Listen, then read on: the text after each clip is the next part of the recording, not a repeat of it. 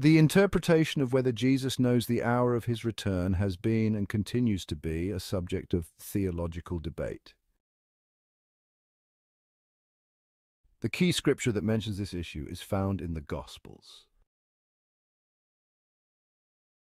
In Matthew 24:36, Jesus says, "But about that day or hour no one knows, not even the angels in heaven, nor the Son, but only the Father." This passage is often cited to argue that Jesus, in his incarnate form, did not know the exact time of his return.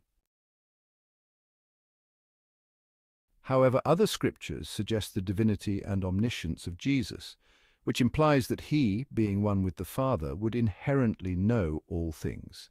For instance, John 10:30 states, "I and the Father are one." John 16:30 also indicates the disciples' recognition of Jesus' omniscience.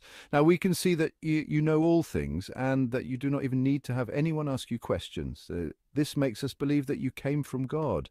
Additionally, Colossians 2 3 speaks of Christ in whom are hidden all the treasures of wisdom and knowledge, in whom are hid all the treasures of wisdom and knowledge. Given these passages, some theologians argue that while Jesus, in his human nature, might not have known the hour, in his divine nature he is fully aware, consistent with the unity of the Trinity.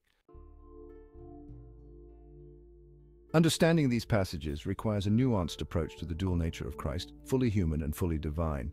Subscribe